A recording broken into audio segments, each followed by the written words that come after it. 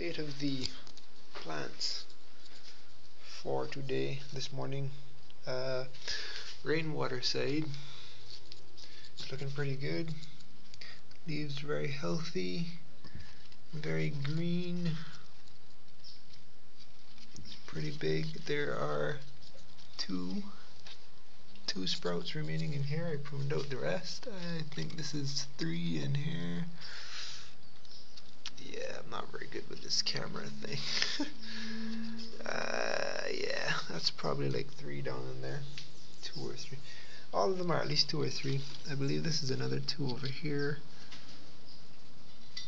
Um, and then these two rainwaters, sorry, uh, tap water, that's it.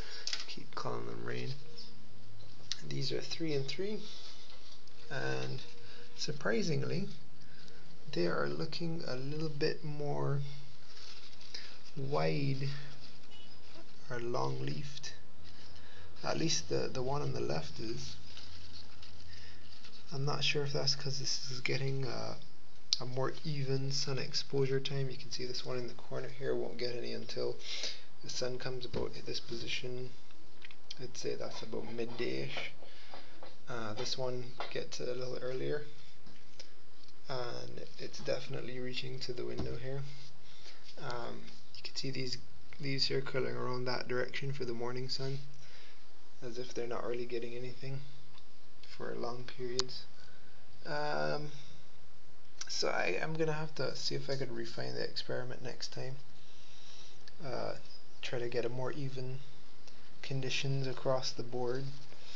But uh, I'm still surprised that these um, these top waters are doing so well. Uh, it's it's hard to separate and tell at the moment which is which. I mean, visually, these leaves are more open on the for the left-hand pot, and the right looks a bit more curled up. Yeah, that trace is down in there, a bit more uh, squeezed together. Not sure what to make of that. Uh, the third pot died, and well, put something else in there so ignore that. Um, yeah. A little bit on the hydroponics if anyone's interested. The leaves were really pale uh, when I had put only the Tropi-Gro in and left it uh, so I switched out to plain water again. This didn't improve much.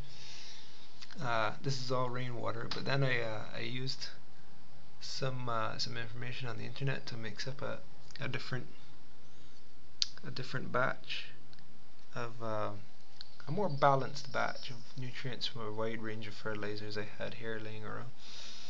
And it's taken on it looks like they got back their color. You can definitely see a difference now because there's a mottling of the leaves. Don't know if you can see that there. Uh, yeah I'm not sure if that's the color coming back in patches or if that's another sign of uh, deficiency that I have to address.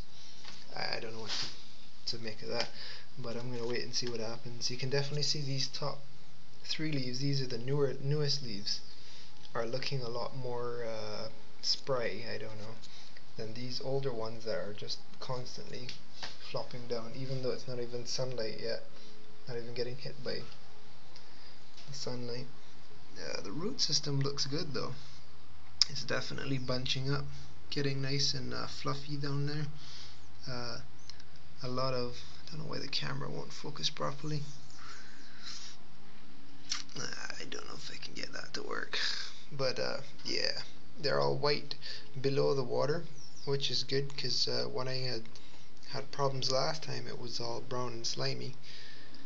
Um, so they're definitely getting a their oxygen or at least there's no anaerobic bacteria growing down there is what I uh, read the slime is. So yeah but mostly these guys doing really well coming up good. I wanted to separate them into different pots uh, top up the dirt to you know change change out the dirt entirely the, the soil. Get a nice fresh batch for all of them and um, you know let them grow to full full figure uh, once or twice these have been sprayed by rainwater uh, by accident. I think my dad was uh, meaning well, was trying to water them for me when they were looking a bit dry, and he put rain on these as well. And then once I actually started spraying and, and caught myself. so, yeah, this may be a bit of a mess up there. I think I'll have to restart the experiment, but considering how different, you know, how uh, how full they're looking uh, when they've been on a regimen of tap all this time, I'm not sure it's, uh, you know, I'm not sure that's the only thing that was going on here. If these claims about tap water being worse are uh, are substantial, I don't know if maybe that's the U.S. tap water, perhaps the water down here in Barbados is much of a much uh, higher quality. I, I don't know, um, but so far they're they're not showing many signs of uh, of of any you know problems that you would normally associate. Uh, I haven't been filtering it. It's straight from the tap. Uh, the only thing I can think of is that as it sprays into the glass that I use to water it, it's getting a lot more oxygen. Maybe that's helpful in some way. The soil maybe is trapping the, the calcium, the, the calcite, uh, the lime we have in our rock down here. Uh, I don't know, I'm just speculating. Alright, well, that's it. I gotta feed the cat before she gnaws my foot off, so yeah, over and out for now.